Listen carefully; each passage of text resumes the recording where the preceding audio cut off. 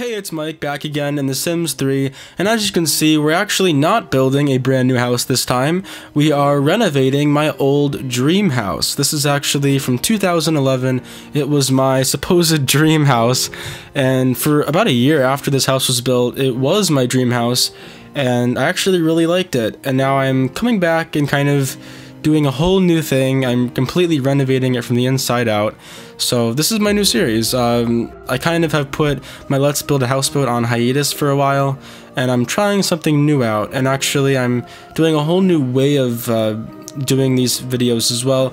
Uh, basically, I'm doing a post commentary and also I'm speeding up the build process by two times, just so that it's a little more interesting and a little less lengthy, but in this case it's actually a more lengthy episode than what I plan to do in the future, but hopefully you enjoyed this a little bit better. Um, basically doing it this way allows me to give you a little more of an interesting, a little more of an interesting comment commentary than you're used to seeing on a uh, full Let's Build a Houseboat episode where I'm just kind of talking while I'm building. So I can actually tell you now what's going to happen. And as you can see right now, we are deleting all of the interior. The uh, whole interior will be deleted. And uh, as you saw before, the windows are all deleted as well as the landscaping.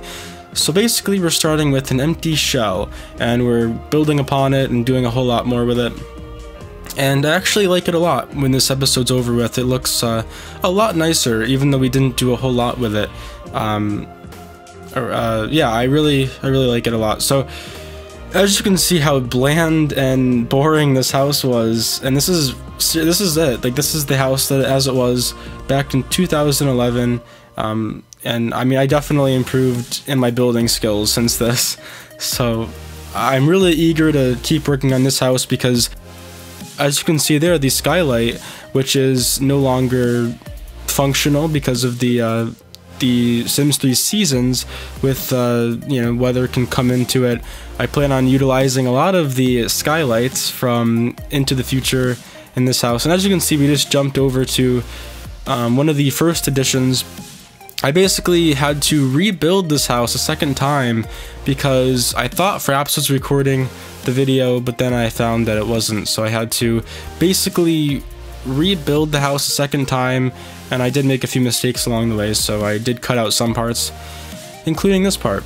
So right now I'm just fixing that error that I made. I basically just um, built it a little too far away from the house. But as you can see, we're utilizing this kind of big room that, you know, that juts out from the house with the stone on it.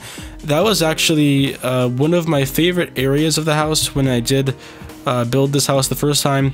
Uh, I loved the uh, the big windows that came out the side of the dining room and kitchen and I I really want to keep that when I renovate it so I'm just adding on to it. And actually that room is going to become the new entryway. Uh, so basically I'm moving the entryway over to where the dining room used to be. And now we're just you know fixing this up uh, building the walls again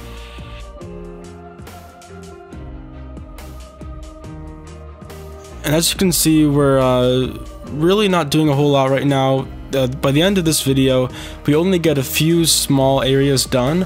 I'm hoping by the end of episode 3 to have the entire building of the new structure completely built, and then we can start furnishing, or actually maybe doing landscaping during episode 4.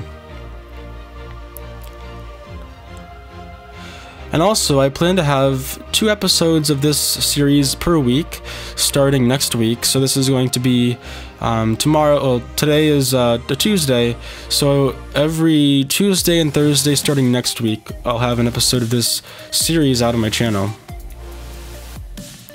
Now we're adding a small roof over this house. This is actually the first house that I'm using uh, a sloped roof. You know, you kind of have that constrained floor elevation slope that you can get if you, um, you know, you can do curves, you can do slopes with constrained floor elevation. And actually, oddly enough, this house would have used constrained floor elevation, but at the time, I actually did not know how to use constrained floor elevation. So, uh, kind of funny that, uh, you know, what I could have done, you know, I knew actually some things that I was going to do, uh, with this house if I actually knew how to use CFE. Um, But that's basically the reason why this house looked so boring and flat before because I had no idea how to use it. But now we're adding in this kind of patio area uh, using that same wall, or actually we moved the wall back a couple of spaces and I'm putting in a patio that um, is going to act as a nice kind of doorway out to the house, out of the house from the new living room, which is going to be moved over right behind the patio inside. And now I'm just uh, deleting all the interior walls because it really doesn't matter anymore. The interior was kind of a mess anyway, so I thought I'll just redo that too.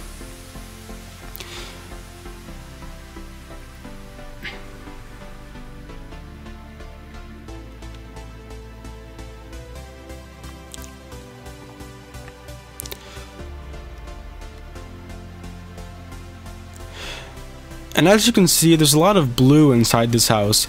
Um, I actually did get a complaint one time on this house video that there was too much blue, and you know, I agree, there's a lot of blue, and my interior designing really wasn't that good back then. So I do plan on completely overhauling the interior. Uh, and as you can see, now we're adding in the entryway.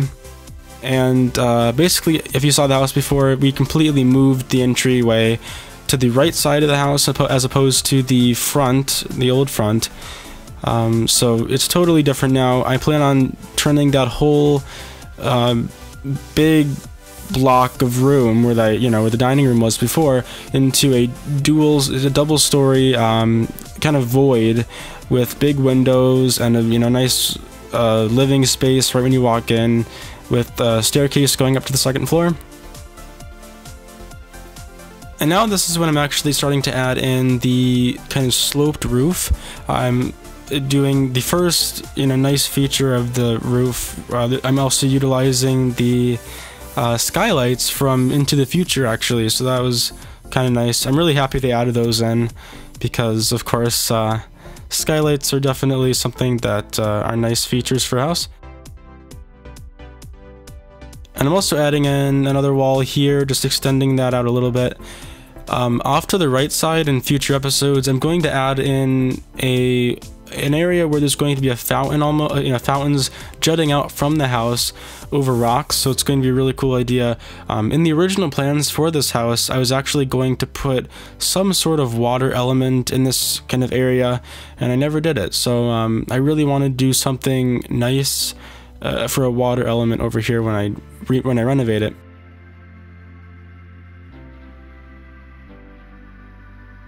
Now I'm adding in some areas where there's going to be balconies coming off of all three floors. Uh, and this house actually is going to have a basement, a full basement uh, this time around, as opposed to just a garage. Mainly because, you know, with all the different features that I'm adding, I, I definitely think that the floor plan is going to be very much decreased by the time I get finished with all of the uh, the floor planning and building the new structure so I definitely have to add more space somehow. I'm also going to be putting in a full dining terrace off to the right side as well. The kitchen's going to be moved off to the right side of the house as well, so it'll be a really nice uh, area to entertain people, and it should be really nice. Now I'm just putting in the skylights, so I'm kind of going to lower this ground um, with the constrained floor elevation sheet, and using stairs to um, to lower the ground.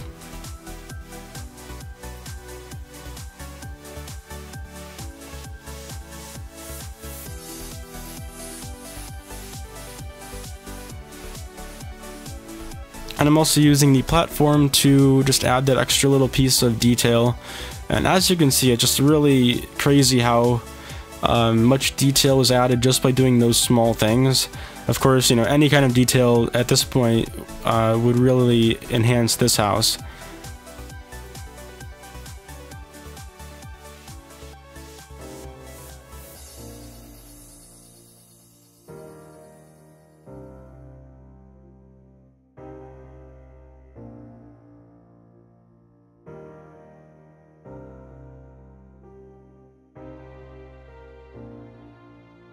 So now this is probably, I think this is actually the uh, the time when this is done. I did a whole lot of different um, uh, changes to the to the heights of, of all the walls and stuff. And I think this is where I left it. I'm not sure though. But as you can see, it is a nice uh, detail element. Um, and there's going to, there are going to be a whole lot more of those sloped roofing uh, roofing pieces as well in the future. Uh, and I'm also going to be putting in a full uh, curved roof uh, using constrained floor elevation in this episode and also in the dining tiers part, which will be next episode.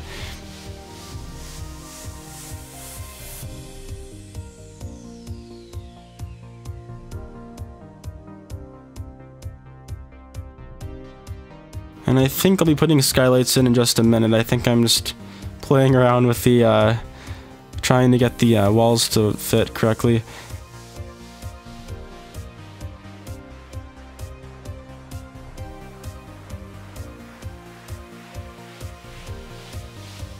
We go. So now I'm actually going to put the, the uh, skylights in. And this whole entire room is going to be a big void throughout. And um, it'll be just a really nice way to bring all the light into the house. Of course, uh, the skylights don't actually bring any light into the house, which is kind of disappointing. But uh, at least the windows will, and the skylight should give like an impression of light coming in.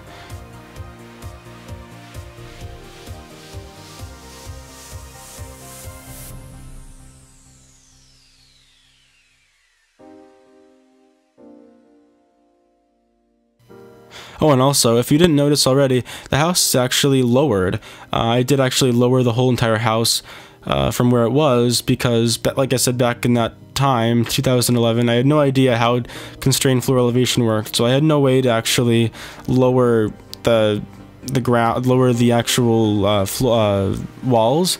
So I just kind of um, had three a three height wall, uh, three wall height house that really didn't look all that good. But when you when you lower the whole house, it does make it look a little better and look less tall, you know. So it just makes it uh, a little bit nicer. Now I'm just kind of uh, putting in the sunken in garage. And uh, uh if you notice, this uh, garage is actually in the exact same spot as the original garage was. I wanted to keep uh, certain elements the same. Also my master bedroom, of course this is my dream house, so I had my own master bedroom that I built and that's actually right above the garage and that it's going to stay there in the same place just so that you know there's some sort of uniformity and some sort of like similarity to the original house. Um, so that you know I can kind of compare it at least so it doesn't look entirely different.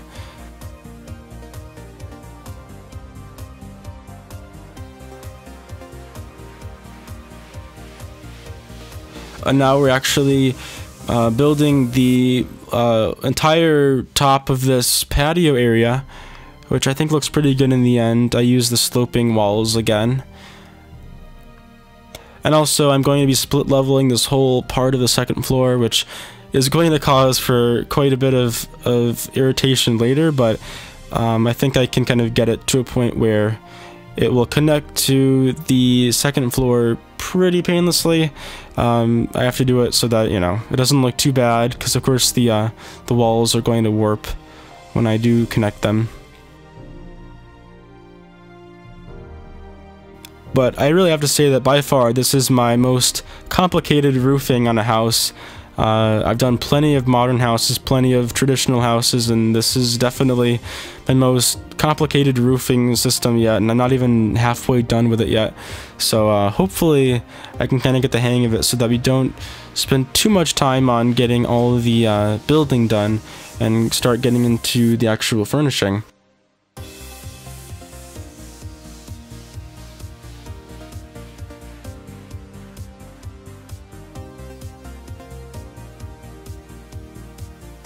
And as always, if you have any suggestions for this series, please tell me down below. I really love to hear all of your suggestions of what I should do with this house and all my other houses.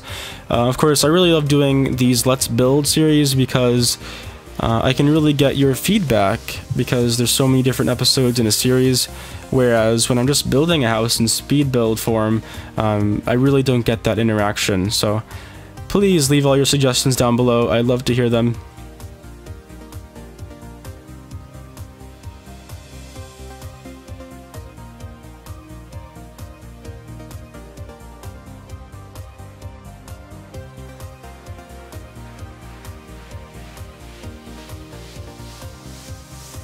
I spent way too much time on this part, just like trying to flatten it out to the right height. And also, it really was being a lot, uh, really very finicky too with all the stair placement and stuff. Uh, I do like though that they started adding in the. Um, I love that they added in the one stair stair set, so you can press Alt and it will only place one stair, so that way you can do a lot more detailing with um, with slopes and all that stuff. It's really nice.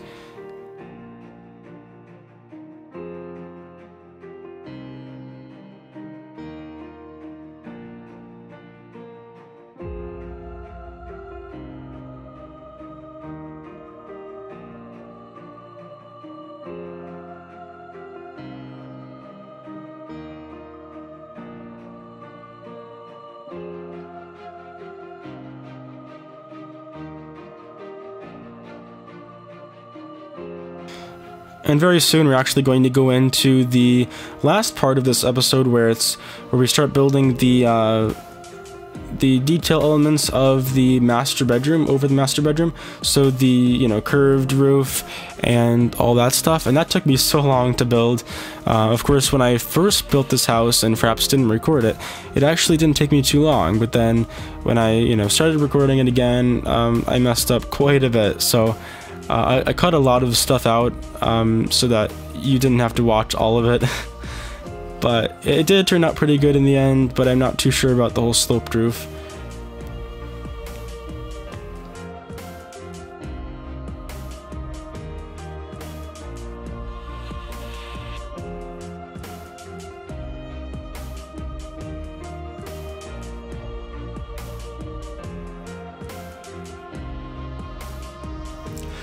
Now we're moving on to the top of the master bedroom and the garage.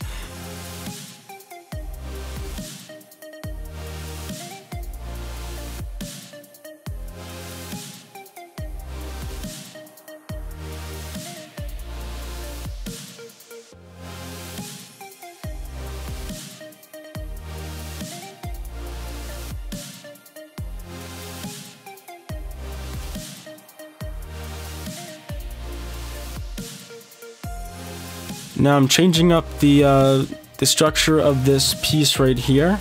Um, like I said before, I keep the overall shape of the master bedroom, but I do have to do quite a bit of restructuring to actually get it to uh, to fit in with the rest of the house. Um, but I do like it in the end. I think that it's a pretty good, pretty good um, improvement over what it was before. The one drawback though is that in the end, uh, the second floor of the master bedroom is kind of uh, unusable in a way. I think I guess I guess I could actually um, use it as a second floor, but it's kind of weird how it's placed, and I think that you know adding stairs in uh, past the um, split leveling would be kind of uh, space wasting a lot of space. So I think that I might just leave it alone as kind of a dummy floor. Now we're adding in the uh, platform where I'm going to put the uh, skylights. I just I love the skylights. They're just the best things. if you don't have Into the Future yet, I really recommend it because the skylights are just such a great thing they've added to the game. And again, my only drawback is that they really don't uh, add any light to the house, so that's a big problem. Um, so you can't use them as windows, unfortunately. They're only used as rugs to kind of allow transparency.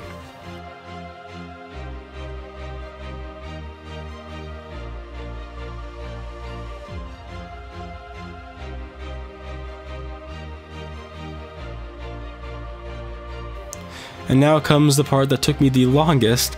I cut out about half an hour of just sped up footage of this part alone of the building of the the walls and then the kind of curved roof. And in the end, I actually don't even know if I like the curved roof. I think it turned out kind of bad. So I may actually be taking it away, but please leave me your suggestions after, you know, after the curved roof is built and tell me if you think it should stay or go because I really don't know at this point.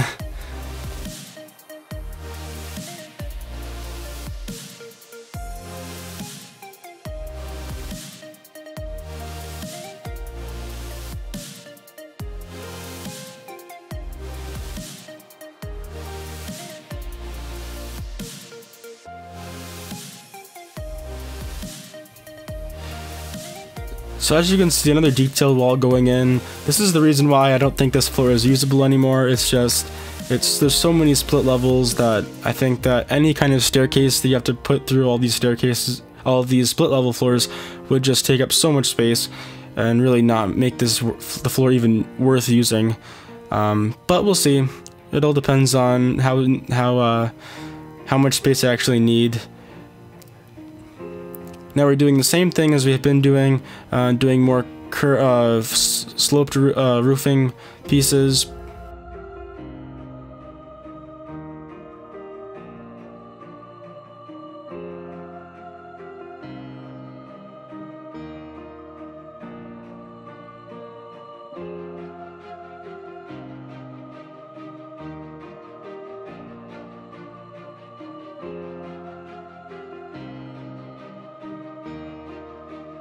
And there we go. So that's another side done.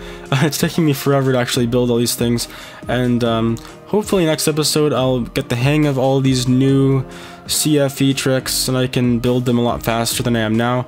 Like I said before, this is twice the speed that I'm current that I currently can build. So um, uh, this is I could go faster uh, if I sped it up more, but I think this is a good enough speed for a let's build. Um, I don't want to go into the realm of speed build with this because I think that um, it's not totally necessary.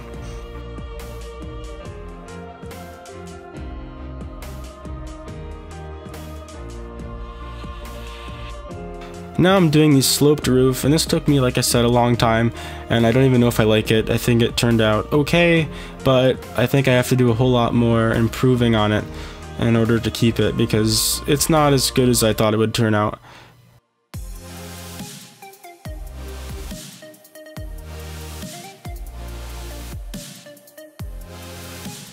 I was actually thinking of using these uh, the short wall as actually a patio, so utilizing the two short floors as one floor and having a door kind of come out from underneath and let the um, the underneath the under part of the uh, sloped roof act as a patio. But I'm not sure if it's actually going to work or not. Um, we'll have to see in, in the end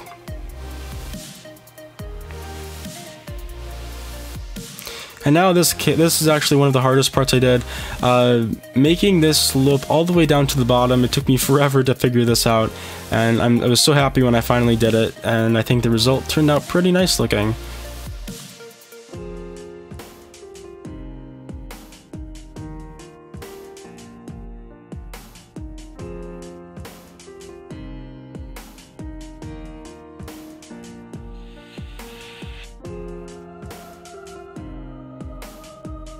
And now the final part of the video where I'm just kind of bringing this back a few, uh, a few, actually, I brought it back already and then now I'm bringing it forward again. I pretty much messed with this part of the house quite a bit. Uh, I couldn't find the right length to go with, to go with this. But I think in the end, it's a pretty good length and it allows for some split leveling down to the bottom. So thanks for watching this video. Uh, this is part one of Let's Renovate a House. I'll see you next time in part two.